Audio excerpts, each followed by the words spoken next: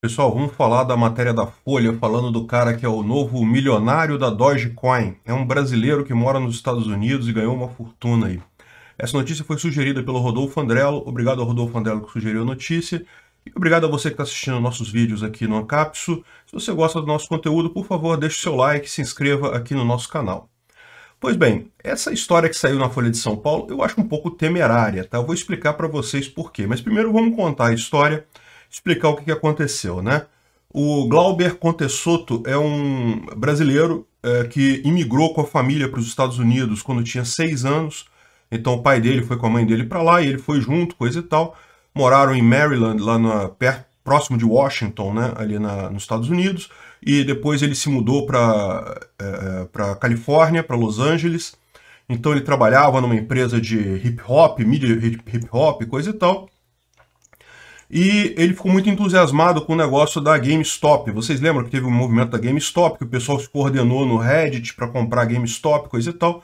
Mas, como ele diz aqui, ele, ele entrou no final da coisa. Não conseguiu ganhar dinheiro porque entrou quando já estava acabando a, a questão da GameStop. E daí ele passou a prestar atenção no Reddit, coisa e tal. Em determinado momento, ele é, achou que tinha a oportunidade no, uh, na Dogecoin. E de fato ele chegou em fevereiro desse ano, ele comprou cerca de 250 mil dólares em Dogecoins. É um bocado de dinheiro. Repara, é, 200 mil dólares ele conseguiu é, é, em, é, com poupança dele e 50 mil dólares ele chegou a pegar, pegar emprestado para fazer isso. Isso é um dos pontos que eu acho meio preocupante nessa reportagem, porque... Bom, enfim, vamos lá. Ele pegou emprestado 50 mil dólares, pegou mais 200 mil dólares que ele tinha de poupança, botou tudo em Dogecoin em fevereiro e conseguiu se dar muito bem. Né? Se você olhar aqui a, a margem, fevereiro ele já tinha subido um pouquinho o Dogecoin, mas logo em seguida começou a subir mais, depois ficou meio que parado. Segundo ele, ele comprou logo no início, deve ter comprado por aqui, eu imagino, não, aqui é 30 de...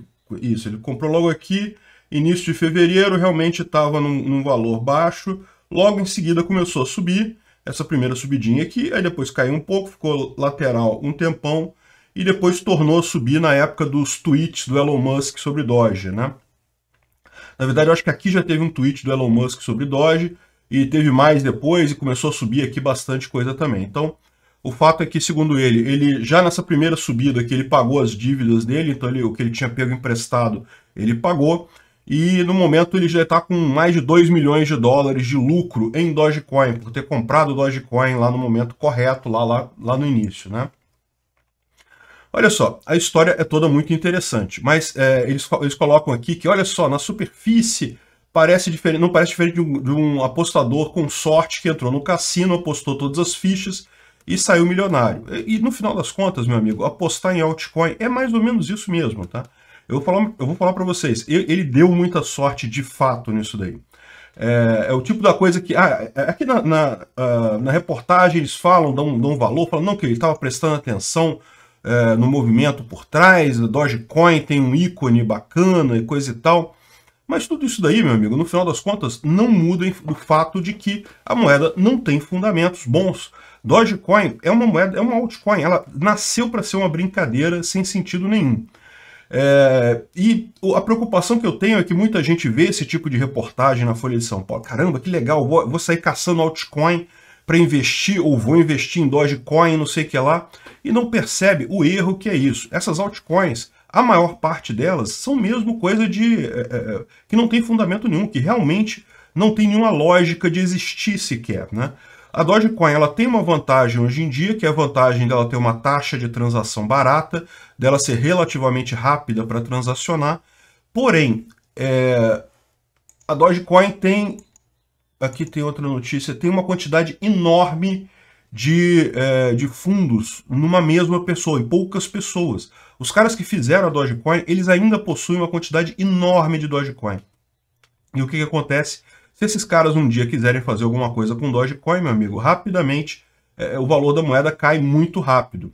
Além disso, a Dogecoin, olha só, ela gera 10 mil Dogecoins por bloco de recompensa e é um bloco a cada minuto, o que significa que num dia você vai ter, um dia você tem 140, 1440 minutos, num dia, né, 60 vezes 24, é, isso dá então, peraí, deixa eu fazer a conta aqui, 1, 2, 3, 14 milhões e 400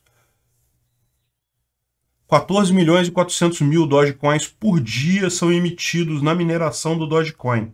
É muito Dogecoin. É muito Dogecoin mesmo emitido ali. Isso leva. Ao, e lembra, Dogecoin não tem limite a moeda, então ela é uma moeda inflacionária, ela tende a perder valor com o tempo, tal como o dólar o real. É verdade seja dita, ela tem pelo menos uma taxa de inflação constante, diferente do dólar e do real, que o governo resolve inflacionar mais ou menos.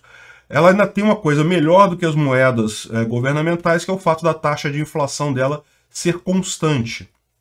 Mas, de qualquer forma, é uma coisa complicada isso. O fato dela estar tá na mão de muito, é, de pouca gente, de ter uma grande reserva em nome da é, de poucas contas aqui, mais do que o Bitcoin, ela é mais concentrada que o Bitcoin. Enfim, é, é uma coisa meio arriscada esse tipo de coisa. Eu estou dizendo para você para não investir em Dogecoin? Não, você pode investir em Dogecoin. De repente, se você acha interessante isso daí, é o que eu estou falando. Não é que vai acabar, não é que vai virar zero, esse tipo de coisa não acontece. A moeda vai estar tá aí, vai ter sempre algum valor. Agora, não é o ideal, porque ela não tem uma proposta de fato de ser segura, imune a governos. O próprio cara entra dessa aqui, e aí eles adoraram isso também, porque ele está falando sobre quanto que ele vai pagar de imposto de renda, não sei o que lá. Repara que ele está naquela ideia de que a, a, a, moeda é um investimento como outro qualquer, tem que pagar imposto de renda, tem que fazer as coisas todas, porque né, é apenas um investimento. Só que você está investindo em que em Doge no final das contas? O que, você está comprando quando você compra Doge?